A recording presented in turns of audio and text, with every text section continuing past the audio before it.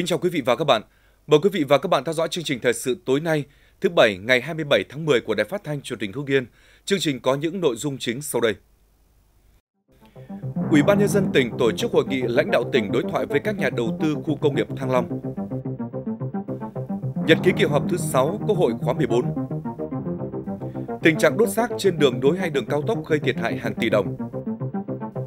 Công an tỉnh bắt giữ hàng chục thanh niên sử dụng trái phép chất ma túy tại quán karaoke. Cô giáo Lương Thị Hoa, trường Trung học cơ sở thị trấn Vương có nhiều sáng tạo trong công tác giảng dạy. Thưa quý vị và các bạn, chiều qua, dưới sự chủ trì của đồng chí Nguyễn Văn Phóng, Phó Bí thư tỉnh ủy, Chủ tịch Ủy ban nhân dân tỉnh, Ủy ban nhân dân tỉnh tổ chức hội nghị lãnh đạo tỉnh đối thoại với các nhà đầu tư khu công nghiệp Thăng Long 2. Cùng dự có đồng chí Bùi Thế Cử, Phó Chủ tịch Ủy ban nhân dân tỉnh và lãnh đạo một số sở ngành liên quan. Khu công nghiệp Thăng Long 2 của nhà đầu tư Nhật Bản nằm trên địa bàn hai huyện Yên Mỹ và Mỹ Hào. Trong khu hiện có 66 dự án vào đầu tư, tạo việc làm cho hơn 22.000 lao động. Tại buổi đối thoại, doanh nghiệp trong khu nêu ý kiến thuộc về các nhóm vấn đề hạ tầng giao thông, tình trạng đổ rác thải không đúng nơi quy định ở một số điểm nằm gần khu công nghiệp gây ô nhiễm môi trường, ảnh hưởng sản xuất các doanh nghiệp trong khu, cách tính ưu đãi thuế cho doanh nghiệp, các ý kiến được lãnh đạo các sở ngành địa phương trả lời làm rõ cũng như đề xuất các giải pháp để tăng cường phối hợp, trao đổi thường xuyên giữa các sở ngành địa phương với các doanh nghiệp và chủ đầu tư là khu công nghiệp Thăng Long 2 để khắc phục kịp thời.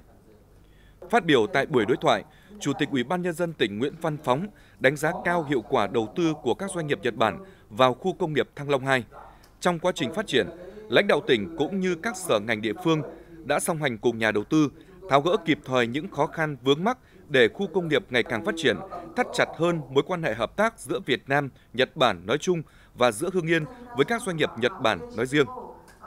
Đồng chí nhấn mạnh, quá trình đầu tư sản xuất kinh doanh tại Hương Yên, thời gian qua, các doanh nghiệp Nhật Bản tạo ấn tượng tốt với các cơ quan quản lý nhà nước, với bản thân người lao động làm việc và nhân dân trong tỉnh. Đồng chí đánh giá cao sự phối hợp hiệu quả của một số doanh nghiệp trong khu với các nhà trường để đào tạo nghề cho người lao động theo yêu cầu của doanh nghiệp – đòi hỏi cần nhân rộng trong thời gian tới để góp phần cung cấp nguồn lao động tay nghề cao cho các doanh nghiệp. Đồng chí mong rằng trong thời gian tới, Hưng Yên tiếp tục là điểm đến của nhiều nhà đầu tư Nhật Bản, góp phần thúc đẩy phát triển kinh tế xã hội địa phương. Để làm tốt điều này, cùng với môi trường đầu tư được cải thiện ngày càng thông thoáng, xây dựng chính quyền kiến tạo, đồng hành cùng doanh nghiệp, nguồn lao động trẻ có trình độ thì tỉnh sẽ tiếp tục tổ chức các đoàn sang Nhật Bản tiếp xúc, mời gọi đầu tư vào Hưng Yên. Tại buổi đối thoại, Chủ tịch Ủy ban nhân dân tỉnh cũng trả lời làm rõ các ý kiến của nhà đầu tư về hạ tầng. Tỉnh đã có quy hoạch thêm nhiều tuyến đường và một số tuyến đang triển khai xây dựng, có kết nối với hệ thống đường khu công nghiệp Thăng Long 2, tạo thuận lợi cho đi lại, vận chuyển hàng hóa của các doanh nghiệp trong khu, góp phần giảm mật độ giao thông trong khu vực là điều kiện thuận lợi để khu công nghiệp Thăng Long 2 mở rộng quy mô của khu trong các giai đoạn tiếp theo. Chủ tịch Ủy ban nhân dân tỉnh yêu cầu các sở ngành địa phương trên cơ sở ý kiến phản ánh chính đáng của doanh nghiệp tại buổi đối thoại phải có giải pháp ngay, cụ thể để cùng phối hợp khắc phục kịp thời những khó khăn vướng mắc, tạo môi trường thông thoáng để thu hút đầu tư. Chiều ngày 26 tháng 10, Ủy ban nhân dân tỉnh tổ chức cuộc họp kiểm điểm tình hình thực hiện nhiệm vụ về chương trình cấp nước sạch nông thôn. Đồng chí Nguyễn Minh Quang, Phó Chủ tịch Ủy ban nhân dân tỉnh, trưởng ban chỉ đạo thực hiện chương trình cấp nước sạch tỉnh chủ trì hội nghị. Đến nay, toàn tỉnh đã có 7 trên 9 công trình hoàn thành việc chuyển đổi nguồn cấp nước. Tuy nhiên, tỷ lệ cấp nước mới đạt 34%, còn 25 xã chưa thi công lắp đặt đường ống cấp nước. Phát biểu tại hội nghị, đồng chí Phó Chủ tịch Ủy ban nhân dân tỉnh yêu cầu các huyện thành phố ra soát và báo cáo kết quả tới Ủy ban nhân dân tỉnh tỷ lệ đấu nối tới từng xã thôn yêu cầu các doanh nghiệp trên địa bàn phải ký thỏa thuận cấp nước với tất cả các xã và phải công khai chất lượng đấu nối, đồng hồ, giá nước đến tất cả các hộ dân. Các xã phải tiến hành kiểm tra việc đấu nối một cách công khai, minh bạch. Đồng chí yêu cầu Sở Nông nghiệp và Phát triển Nông thôn tổng hợp kết quả và báo cáo với Ủy ban Nhân dân tỉnh về tiến độ của chương trình. Tất cả các trường hợp vi phạm chất lượng nước đều phải tiến hành xử phạt và chuyển kết quả cho cơ quan báo chí để tuyên truyền công khai nhà máy nước Thuần Hưng, huyện Khói Châu cần chấm dứt sử dụng nguồn nước nội đồng.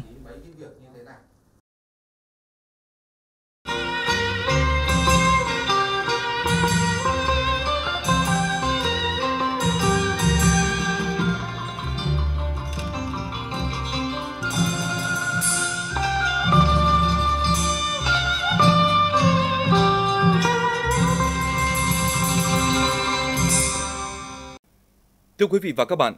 tiếp tục chương trình làm việc kỳ họp thứ 6 Quốc hội khóa 14. Sáng nay, Quốc hội thảo luận tại hội trường về kết quả thực hiện nghị quyết của Quốc hội về kế hoạch phát triển kinh tế xã hội năm 2018 và 3 năm thực hiện kế hoạch 5 năm 2016-2020, kế hoạch phát triển kinh tế xã hội năm 2019. Ghi nhận những nỗ lực của chính phủ, tuy nhiên đại biểu kiến nghị chính phủ tập trung vào 8 vấn đề như về tái cơ cấu nền kinh tế, đổi mới phương thức phân bổ nguồn lực theo hướng thị trường hơn, tập trung cơ cấu lại doanh nghiệp nhà nước theo hướng toàn diện, tập trung đầu tư cho các đầu tàu như thành phố Hồ Chí Minh, Hà Nội. Đặc biệt, đề nghị chính phủ có chính sách thu hút đầu tư vào lĩnh vực nông nghiệp, quan tâm giải quyết vấn đề hàng giả, hàng nhái đang tràn lan trên thị trường. Bên cạnh đó, các đại biểu đề nghị chính phủ, các bộ ngành đánh giá lại tình hình cổ phần hóa doanh nghiệp nhà nước,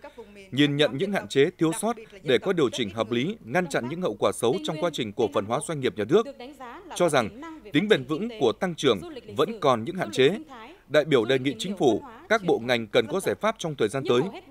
Bên cạnh đó, đại biểu cũng đề nghị chính phủ quan tâm đến việc xử lý ô nhiễm môi trường tại các khu công nghiệp, khu dân cư. Liên quan đến công tác cải cách hành chính, tổ chức bộ máy và biên chế, đại biểu cho rằng chủ trương của Trung ương về vấn đề này là hết sức đúng, nhưng trong tổ chức thực hiện, đặc biệt là khâu thông tin và truyền thông, có phần chưa chặt chẽ đầy đủ. Bên cạnh đó, các đại biểu đề nghị chính phủ cần phân tích rõ hơn về cạnh tranh Mỹ-Trung, không chỉ thuần túy về thương mại. Từ đó, đại biểu kiến nghị một số vấn đề về chính sách tiền tệ và cho rằng cần tiếp tục cải cách thể chế, hỗ trợ khu vực tư nhân trong nước, quyết liệt thực hiện tái cơ cấu kinh tế, thu gọn khu vực kinh tế nhà nước, bảo đảm thực hiện tốt chủ trương đa dạng hóa thị trường, tránh phụ thuộc vào một số thị trường lớn, để mạnh tự chủ cho các đơn vị sự nghiệp công, giảm gánh nặng cho ngân sách.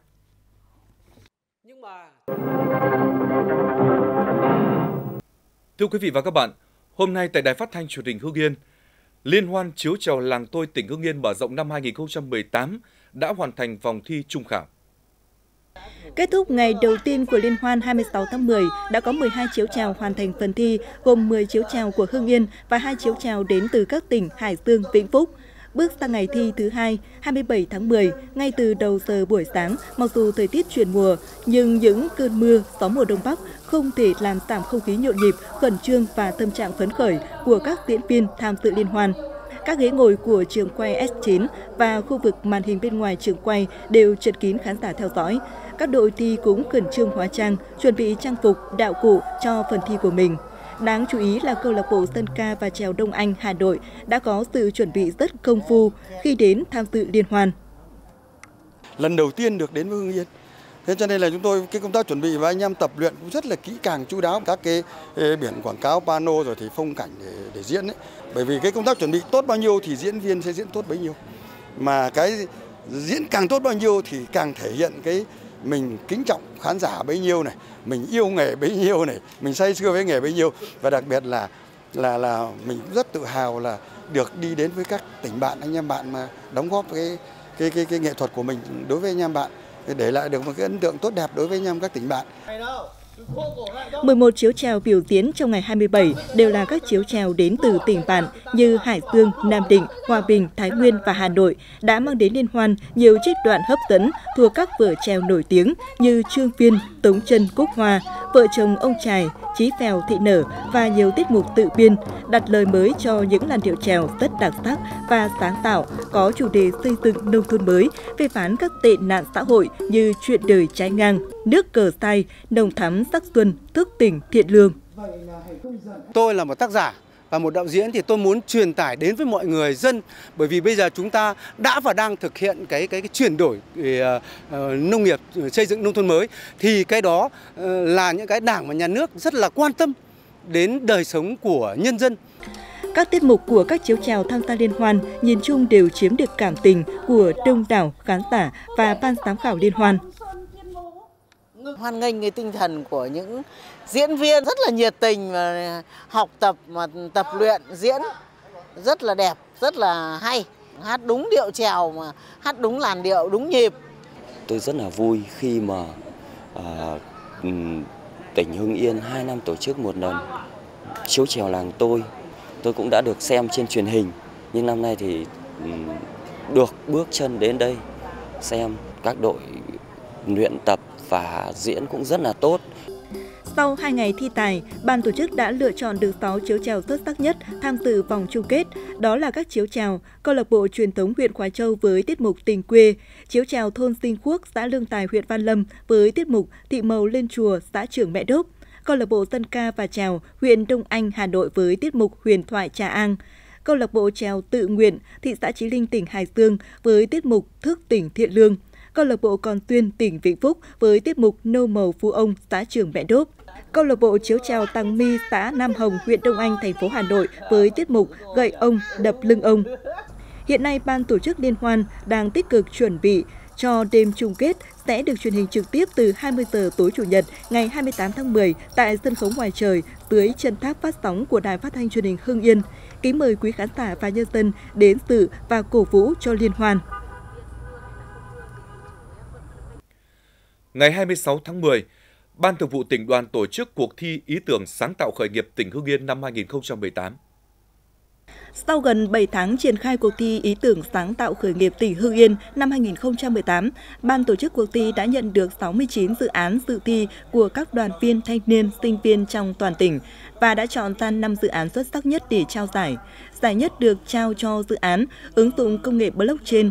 trong thương mại điện tử để truy xuất nguồn gốc hàng hóa của tác giả Trần Văn Trường đến từ huyện Ân Thi. Giải nhì được trao cho ý tưởng dự án chăn nuôi hiệu quả cao áp dụng công nghệ 4.0 của tác giả Phạm Hồng Sơn ở thành phố Hưng Yên và được nhà đầu tư hỗ trợ với mức 1 tỷ đồng để thực hiện. Ban tổ chức cũng trao một giải ba và hai giải khuyến khích cho các dự án ý tưởng còn lại và được các nhà đầu tư hỗ trợ mỗi dự án 100 triệu đồng. Thưa quý vị và các bạn,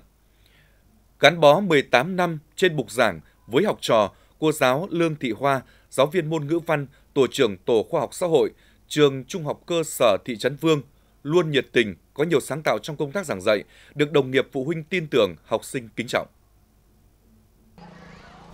Năm 2000, cô giáo Lương Thị Hoa tốt nghiệp trường Cao đẳng Tư phạm Hưng Yên. Ra trường, cô tham gia giảng dạy môn ngữ văn tại trường Trung học cơ sở Ngô Quyền, huyện Tiên Lữ. Năm 2013, sau khi có quyết định thành lập trường Trung học cơ sở thị trấn Vương, cô được điều chuyển về trường làm tổ trưởng Tổ khoa học xã hội. Từ đó đến nay, cô luôn là nhân tố tích cực, đưa ra nhiều sáng kiến kinh nghiệm dạy học tích cực, đổi mới phương pháp dạy học,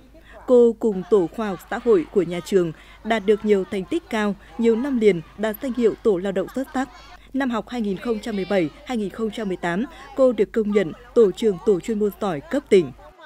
Với vai trò là người tổ trưởng, đồng chí ờ, Lương Thị Hoa luôn luôn lãnh đạo chỉ đạo tổ hoàn thành tốt các cái nhiệm vụ năm học. À, về cá nhân đồng chí thì luôn luôn tâm huyết với nghề, luôn là người gương mẫu đi đầu trong việc ờ, đổi mới, tìm tòi, ứng dụng các phương pháp và các kỹ thuật dạy học tích cực nhằm nâng cao hiệu quả trong à, giảng dạy, đáp ứng nhu cầu đổi mới toàn diện về căn bản của giáo dục. Là giáo viên giảng dạy môn ngữ văn, cô không ngừng tìm tòi các phương pháp dạy học sáng tạo tích hợp, chủ động áp dụng công nghệ thông tin vào giảng dạy một cách hiệu quả, trong đó chú trọng khả năng tư duy sáng tạo của học sinh. Cô luôn tâm niệm tại văn là tại làm người, tại các em học sinh hình thành nên nhân cách đạo đức tốt, nên mỗi từ lên lớp của cô đều được các em học sinh hào hứng học tập. Sau mỗi giờ học, cô Hoa vẫn mang về nỗi niềm chăn trở với những em học sinh có hoàn cảnh khó khăn, cố gắng để chia sẻ gần gũi với học sinh của mình. Trong cảm nhận của em thì cô rất thân thiết và gần gũi, giống như một người mẹ hiền của bọn em vậy em cảm nhận được lòng nhiệt tình cũng như là sự tâm huyết của cô đối với mỗi học sinh cũng như là trong công việc giảng dạy trong nhà trường. Bài giảng của cô thì rất dễ hiểu, à, hấp dẫn và lý thú nên chúng em vừa tiếp thu được nhiều kiến thức lại vừa rèn luyện được rất nhiều những kỹ năng khác nữa. Mời quý vị và các bạn theo dõi tiếp chương trình thời sự. Mặc dù dự án tuyến đường bộ nối đường cao tốc Hà Nội Hải Phòng với đường cao tốc cầu Giã Ninh Bình đoạn qua tỉnh Hưng Yên được đẩy nhanh tiến độ thi công để sớm đưa vào khai thác. Tuy vậy, trong thời gian vừa qua, ở một số đoạn người dân đã mang rác phế liệu ra đốt ngay trên mặt đường mới thi công, gây thiệt hại hàng tỷ đồng. Theo Ban Quản lý Dự án Đường bộ nối đường cao tốc Hà Nội Hải Phòng với đường cao tốc cầu rẽ Ninh Bình, thời gian trở lại đây có nhiều người dân và doanh nghiệp lợi dụng đêm tối chở rác và phế thải ra cạnh đường đổ trộm, đốt rác bừa bãi, gây hư hỏng toàn bộ phần đường khi mới được thi công trải thảm bê tông nhựa. Trong đó, mới đây nhất, ngày 21 tháng 10, tại khu vực xã Đặng Lễ, huyện Ân Thi, người dân đã đốt một bãi phế liệu may mặc có chiều dài 20 mét ngay trên mặt đường. Hậu quả là mặt đường bị biến dạng, lớp nhựa bị cháy hết, xuất hiện các vết dạn nứt. Trước đó, tại các khu vực thuộc xã Hồng Tiến, Dân Tiến huyện Quái Châu và xã Xuân Trúc huyện Ân Thi, xã Chính Nghĩa, huyện Kim Động cũng đã xuất hiện tình trạng người dân mang rác phế thải ra đốt trên mặt đường. Các phế liệu đốt tại khu vực này chủ yếu là bông, vải của một doanh nghiệp sản xuất giày, may mặc bao bì. Theo đơn vị thi công thì hầu như phần đường đã được trải nhựa áp van nên việc đốt trên bề mặt khiến cháy hết phần nhựa và gây dạn nứt kết cấu đá, nhựa thiệt hại trên 1 tỷ đồng. Bên cạnh đó còn là mất mỹ quan của đường. Hiện nay đơn vị thi công đang đẩy nhanh tiến độ để phấn đấu hoàn thành dự án trước tháng 11 năm 2018. Việc người dân và doanh nghiệp thiếu ý thức đốt rác gây ảnh hưởng thiệt hại về kinh tế và làm giảm tiến độ của dự án.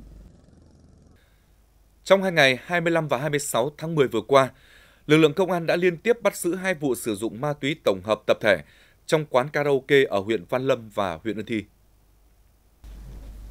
Vào khoảng 1 giờ 30 phút ngày 26 tháng 10, Công an huyện Văn Lâm phối hợp với Công an xã Lương Tài kiểm tra đột xuất tại quán karaoke Hoàng Giang ở thôn Khuyến Thiện, xã Lương Tài, do Nguyễn Tiến Lĩnh sinh năm 1986 làm chủ. Trong quá trình kiểm tra, công an phát hiện tại phòng 301 có 17 thanh niên, gồm 8 nữ, 9 nam có biểu hiện nghi sử dụng ma túy tổng hợp. Tổ công tác đã thu giữ 5 quả bóng bay và một viên nén màu xám nghi là ma túy tổng hợp và một số vật chứng có liên quan. Tại cơ quan điều tra, các đối tượng khai nhận Lê Xuân Hải sinh năm 1998 ở xã Lạc Đạo, huyện Văn Lâm đã thuê phòng hát để tổ chức sinh nhật, mời bạn bè đến dự và cùng sử dụng ma túy tổng hợp. Các đối tượng đã pha ma túy vào coca để uống.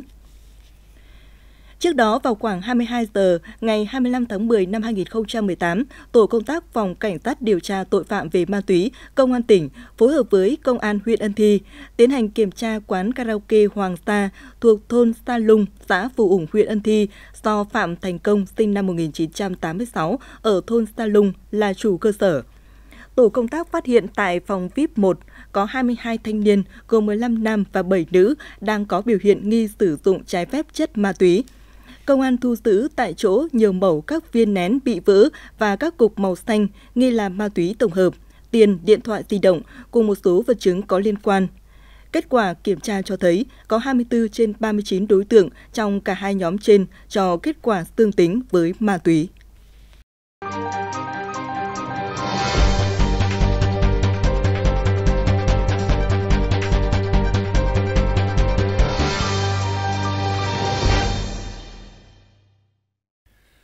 Theo báo cáo của Ban An toàn Giao thông tỉnh, trong tháng 10 năm 2018, toàn tỉnh đã xảy ra 7 vụ tai nạn giao thông, làm chết 9 người, làm bị thương 8 người.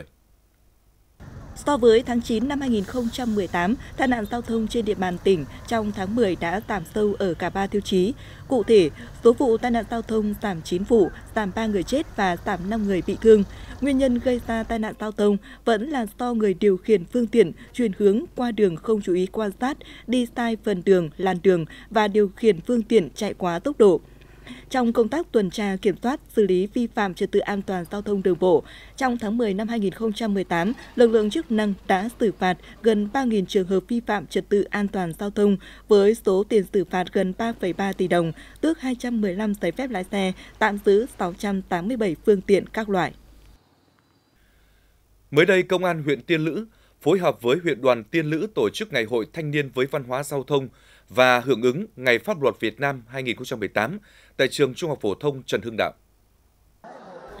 Đây là hoạt động thiết thực nhằm mục đích nâng cao nhận thức của đội ngũ cán bộ đoàn viên thanh niên, học sinh, sinh viên đối với công tác đảm bảo trật tự an toàn giao thông, xác định rõ trách nhiệm và phát huy tinh thần sung kích tình nguyện của tuổi trẻ trong việc đảm bảo trật tự an toàn giao thông, hình thành nét văn hóa trong tham gia giao thông của thanh niên, góp phần tích cực trong việc giảm tai nạn giao thông.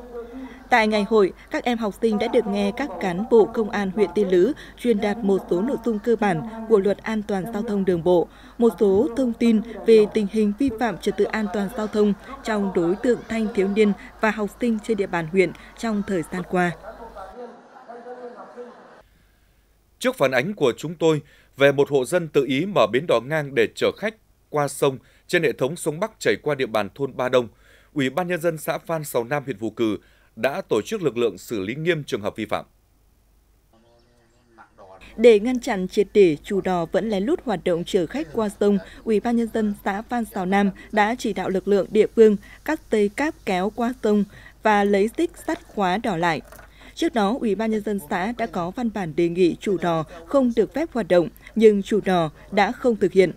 Theo kế hoạch, cầu Ba Đông được xây dựng trong vòng 12 tháng. Để đảm bảo sự an toàn cho nhân dân, Ủy ban nhân dân xã sẽ cương quyết xử lý nghiêm đối với bất cứ hộ dân nào có ý định tự ý mở bến đò để chở khách qua sông khi chưa được cấp có thẩm quyền cấp phép.